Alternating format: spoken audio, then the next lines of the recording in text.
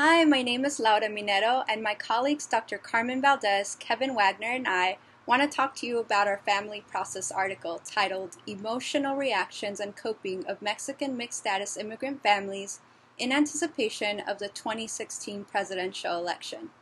The U.S. presidential election of 2016 was the focus of much anticipation and speculation, particularly for Latinx immigrants across the United States. Using a multiple case study method, our primary goal was to describe how immigrant families, especially Mexican adults and their pre-adolescent and adolescent children or grandchildren, personally and collectively reacted emotionally to the events that led up to the 2016 presidential election.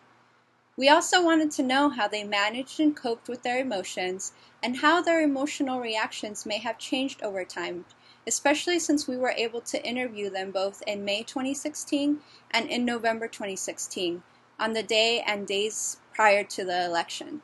So we actually had two time points to look at through this study. Initially, participants expressed concern and fear about the anti immigrant rhetoric by the conservative political movement, but largely felt reassured that such rhetoric would not prevail. It was noted that families who had no opportunity for fixing their status were more fearful than the one family who was in the process of changing their status through a U visa petition. However, in the days immediately preceding the election, in November 2016, a notable change seemed apparent among all participants, regardless of immigration status. Participants expressed having intense emotions ranging from fear, angst to disbelief, anger, and denial. They attempted to manage these feelings through external actions, like being involved in their community or even being involved in activism, and through internal actions, like communicating with their family and also using other cognitive strategies.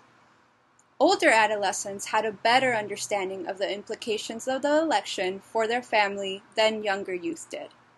Even youth who were born in the U.S. and hence were U.S. citizens reported negative feelings related to the anti-immigrant rhetoric espoused by then-candidate Trump.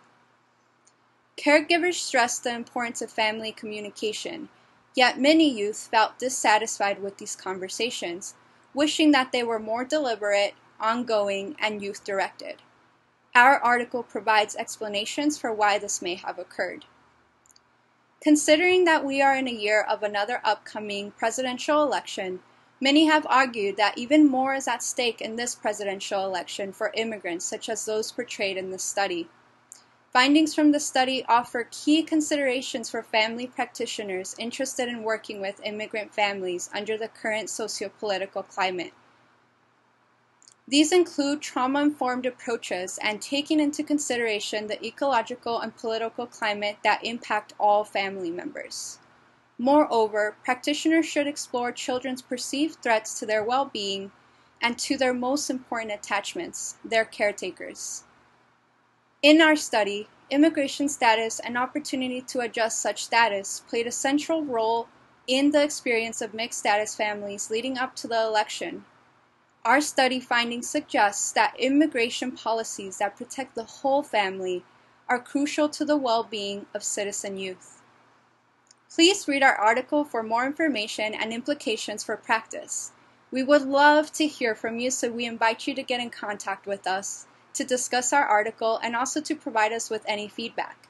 You can get in contact with us by emailing Dr. Carmen Valdez at crvaldez at u utexas.edu. Again, that's crvaldez at utexas.edu. Thank you for your interest.